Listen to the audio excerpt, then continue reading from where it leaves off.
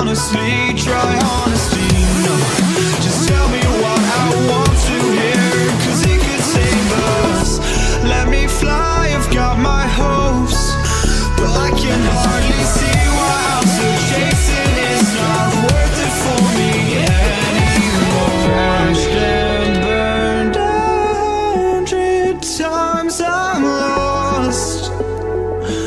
I just can't let this go.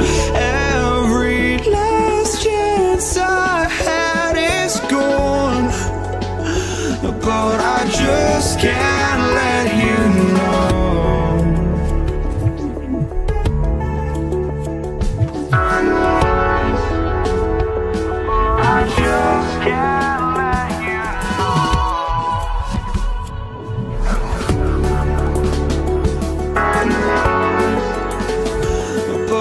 just can't let you know.